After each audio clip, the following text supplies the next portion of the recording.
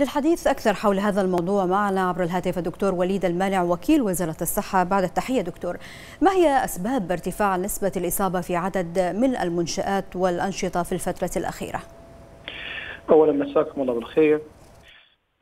الحقيقة هذا سؤال مهم خاصة في هالفترة. فعلا إحنا رصدنا ارتفاع في الأعداد الإصابات عامة في هالفترة. ووجدناها في الاثنين في عدم التزام يعني المواطنين والمقيمين. على حد سواء بالاحترازات الوقائية العامة. لما نتكلم إحنا عن بعض يعني التجمعات سواء الاجتماعية أو غير الاجتماعية وتكون في المنازل أو خارج المنازل وما نعم. يتخذ فيها أي إجراء حتى مثل يعني إجراءات بسيطة جدا مثل لبس الكمامات مثل التباعد عامة الاجتماعي إنما يكون يعني أقل من خلينا نقول مترين أو متر ونص غسل اليدين تجنب عامة التجمع هذه أمور بسيطة ولكن للأسف يعني عدم اتخاذ هذه الإجراءات الاحترازية أدت لارتفاع الأعداد. وأنا أتكلم عن الاثنين يعني المواطنين وكذلك المقيمين وجدنا بعض المنشآت أو بعض الأماكن يعني السكن أو غيره قد يكون في هناك أعداد كبيرة جدا وما يراعى فيها يعني الاحترازات اللي إحنا تكلمنا عنها مثل الكمامات مثل التباعد مثل نعم. عدم الاختلاط وعدم التجمع في غير الحاجة. نعم دكتور دكتور يعني يعتبر هذا الارتفاع طبعا مؤشر خطير، كيف من الممكن أن نعمل على خفض نسبة هذه الارتفاعات وفي الإصابات طبعا؟ اولا هو مؤشر خطير يمكن أنا أوافقك بأن إحنا في وقت الجميع الكادر الطبي يعمل يعني نعم. على يعني حد سواء ونحتاج إن إحنا نوحد شوي الجهود ونحتاج إن ندعم الكادر الطبي اللي يعمل ليل نهار اليوم للتطعيم ولزيادة مناعة الناس وما نبغى نبذل الجهود في أماكن عامة ثانية.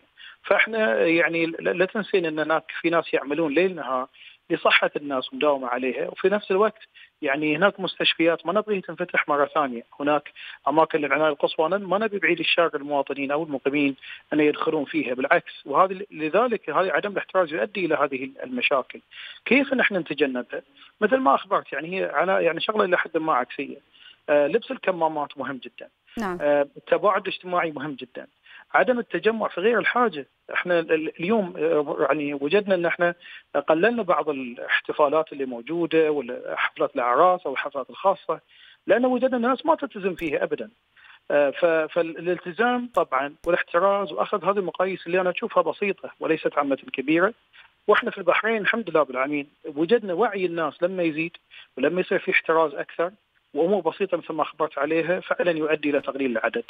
وهذا نعم. ما نطمح له إن شاء الله في نعم دكتور وليد ربما السؤال الذي يطرح نفسه اليوم هل من أخذ اللقاح هل يعني يمكن أن يتهاون في مثلا لبس الكمام؟ يجب أن نعطي نصيحة من خلال شاشة تلفزيون البحرين لمن أخذ اللقاح. سؤال مهم جدا. وجدنا كذلك ناس تتراخى لأنها أخذت اللقاح. اللقاح بإذن الله طبعا بيكون مناعة ولكن لا, لا يعني الجرعة الأولية والجرعة الثانية وما تؤتى المناعة إلا بعد حوالي تقريبا أسبوعين نعم. من أخذ الجرعة الثانية وحتى من بعد الجرعة الثانية بأسبوعين ما زلنا نحتاج أن تكون عندنا احترازات، ما زلنا نحتاج أن نلبس الكمام، يصير في تباعد اجتماعي. البلد الحمد لله في بداياته صحيح إحنا رصدنا عدد كبير جدا وطعمنا كعدد كبير وإحنا على مستويات عالمية يعني نعتبر من أوائل الناس في العالم. ما يعني ذلك؟ يعني نحن يعني نستهتر بالاحترازات نستهتر بلبس الكمامات مثل ما أخبرتي. لا ابدا. حتى الناس المطعمين واللي أخذوا التطعيم يحتاجون يحترزون نعم. آه شوية يعني خلينا نقول يدنا في يد بعض. آه شوية هذه الوقت يعني جهودنا مثل ما خبرت إنها تكون موحدة مواطنين مقيمين مع, مع الناس اللي يقدمون لكم الخدمات في الصفوف الأولى. بإذن الله إن شاء الله نتجاوز هالمحنه نعم بإذن الله. الدكتور وليد المانع وكيل وزارة الصحة شكرا جزيلا لك.